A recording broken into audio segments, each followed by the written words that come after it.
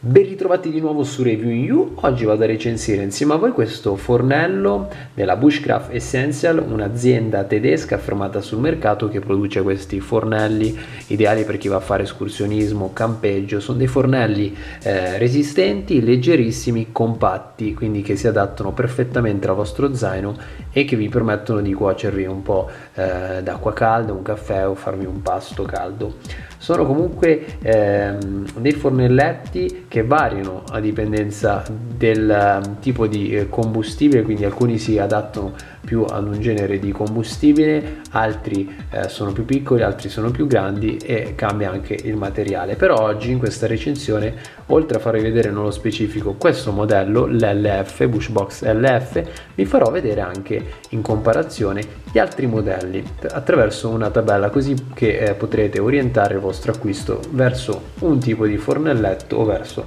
un altro tipo.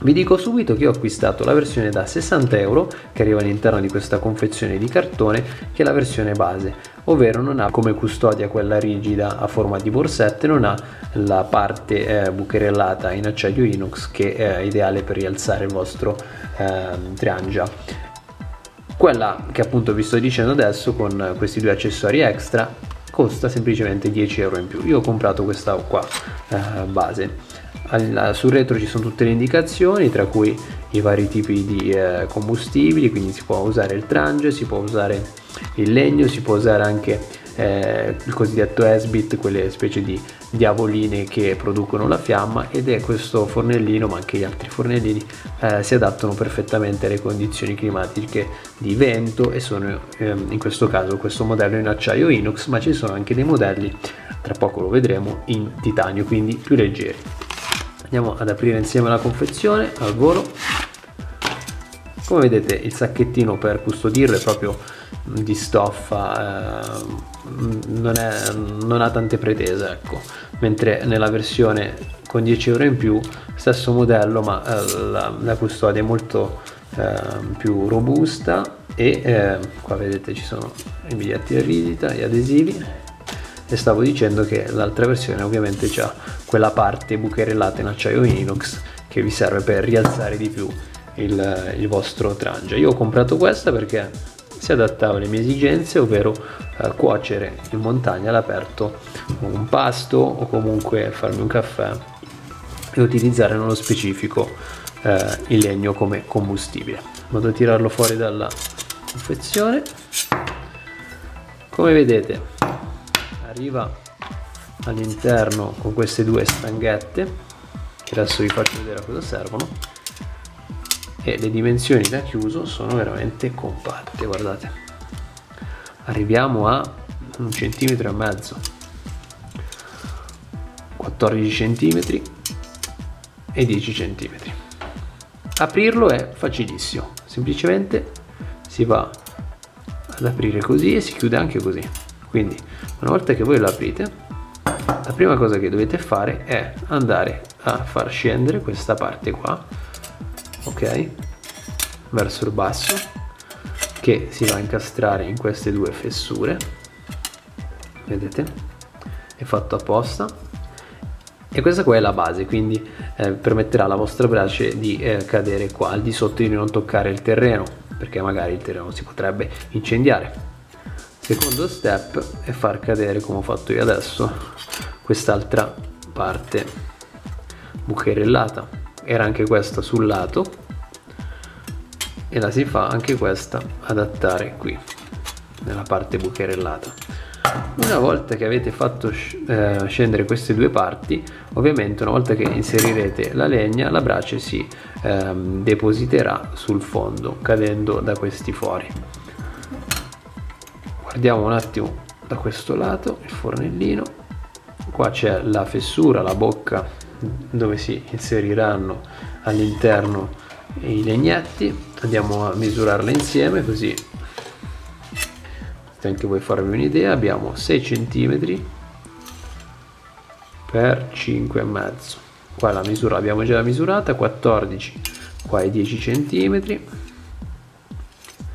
e in alto abbiamo 10 cm per 10 cm a che cosa servono queste due stanghette? beh servono essenzialmente per andare a fare da griglia e posizionare la vostra eh, tazza, la vostra moca, la vostra pentolina. Come vedete ci sono delle fessure qua, sia qua sia qua e voi potete quindi scegliere come posizionare la vostra griglietta in base anche alle dimensioni della vostra pentola. Ci sta benissimo una moca, ho fatto anche una recensione su questa moca da una tazza. In questo caso vado a restringere perché è un po' troppo largo. La griglia di appoggio come vedete ci sta. Ma ci sta anche un pentolino. Come vedete ed è stabile ha due fessure effettivamente. Una Mm, quella, le fessure diciamo più in alto sono quelle più profonde quindi quando andate a posizionarle resta più basso ovviamente scende di più mentre se lo posizionate dall'altra parte ovviamente le fessure più eh, meno profonde lo rialzano di qualche millimetro. Detto questo ci sono anche dei buchini. Come vedete sulla pagina del produttore si vede appunto che vengono inseriti dei picchettini, quelli per, le, per fissare la tenda e eh, in questo modo si può anche avere una base d'appoggio eh, ulteriore. Ma eh, nulla toglie che possiate mettere anche degli spiedini degli spiedi di ferro e magari cuocere che ne so degli spiedini di carne però la fiamma deve essere veramente contenuta ci deve essere pochissima brace se no eh, si carbonizzano. Ma ehm, adesso non sto qua a specificarvi il metodo di cottura ma arriviamo anche um, a, a, capire un attimo perché questo modello è, piuttosto che un altro modello sempre di questa azienda. Vi faccio vedere un attimo il peso. Siamo a 443 più le due barrette 477 grammi. Veramente leggero ma adesso passiamo un attimo al, um, ai vari modelli a capire il perché ho scelto questo modello. Ho scelto questo modello perché si pone tra un modello diciamo medio. Il modello XL è quello più grande, quindi quello che vi permette sicuramente di avere più fiamma, di avere più um, fuoco, che pesa di più ed ingombra di più. Mentre gli altri modelli, sinceramente, o erano troppo piccoli per le mie esigenze, quindi che una pentola ci stava ma difficilmente, poca stabilità, poca fiamma, ma soprattutto anche ho scelto questo modello l'LF, tra l'altro vi lascerò tutti i link in descrizione di Amazon, per il fatto che c'è anche questa chiusura intelligente con queste cerniere, quindi che non si deve eh, andare a comporre. Da questa tabella che adesso vi eh, mostro possiamo vedere eh, le varie caratteristiche eh, che differenziano questi modelli. Innanzitutto il materiale, acciaio inox o eh, titanio, infatti viene segnato con TI quando eh, il fornelletto può essere anche in titanio. Abbiamo innanzitutto il modello EDC Box che è quello proprio più piccolo che è grande quanto diciamo una batteria e eh, un modello che è tascabile, vabbè, abbiamo 77 grammi di peso, leggerissimo, ma che vi permette sostanzialmente di utilizzarlo con un combustibile S-Bit, quindi la classica diavolina e poi potete farci, che ne so, un po' di acqua bollita, un caffè, ma eh, non è pensato per cucinare un pasto. Secondo me se volete orientarvi su questo modello potete farlo, vi lascio il link in descrizione, però è un modello veramente per il minimo indispensabile, farvi un caffè o o un bollire giusto una tazzina d'acqua e lo dovete utilizzare soltanto eh, con eh, l'Esbit. Abbiamo poi il modello Bushbox Ultralight che pesa sui 68 grammi.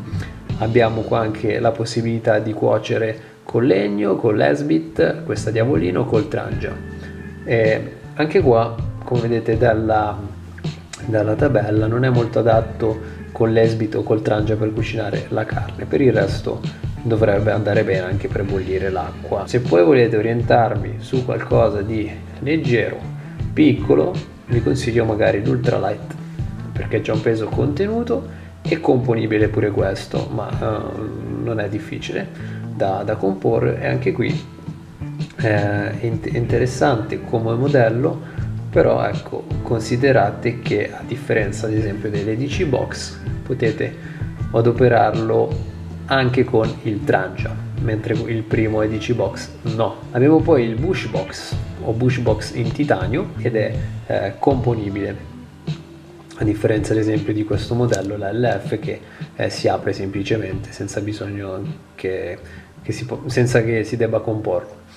La versione in titanio eh, costa 50 euro, vi lascio il link in descrizione. Eh, una cosa diciamo che secondo me lo sfavorisce è il fatto che si debba comporre, quindi rispetto all'LF, ripeto, tutta la vita l'LF perché è più pratico secondo me. E poi non pesa neanche troppo. Abbiamo poi il Bushbox LF che è adatto diciamo per cucinare. E poi abbiamo il Bushbox XL che è un po' più ingombrante e eh, ha tutte le caratteristiche come vedete dalla tabella del Bushbox LF e eh, vi permette anche di eh, posizionare da, da, come si vede anche nell'immagine una griglia eh, sopra per eh, cuocere della carne o comunque eh, fare quello grigliare anche del pesce Abbiamo 800 grammi di peso, in questo caso 12,5 x 19 cm le dimensioni. Quindi vedete un po' voi qual è il modello che più vi eh, si addice. Io sinceramente punterei su un modello medio se anche voi non avete troppe pretese, volete cuocere un piatto di pasta, volete riscaldarvi un po' d'acqua, volete farvi un caffè. Perché? Perché l'LF ha dimensioni e peso eh, access- eh, diciamo abbordabili, il prezzo è contenuto Ehm, e poi ovviamente come vi dicevo potete metterci al di sopra per le dimensioni diciamo medie sia la moca sia il pentolino i modelli precedenti sono un po' più piccoli. Se volete anche voi utilizzare il fuoco funzionano ma ehm, diciamo non, non, rendono molto per la cucina eh, di un piatto caldo. E come vi ho appena detto e eh, sinceramente magari potrebbero essere in termini di stabilità un po' meno stabili. Il modello XL ovviamente è molto più stabile, pensato magari se volete, se volete andare in campeggio usare magari pentole più pesanti e eh, ovviamente ha un rendimento un po' eh, migliore anche perché eh, andate a bruciare più legna, c'è più calore. Però se volete portarvelo magari per fare trekking o escursioni diventa un po' più pesante ovviamente ingombrante. Quindi questi sono le, eh, vari, i vari fornelli, questa è la recensione, se avete domande non esitate a pormele, vi lascio tutti i link in descrizione dei vari modelli che siamo andati a vedere, fatemi domande, sono qui e ci vediamo alla prossima review.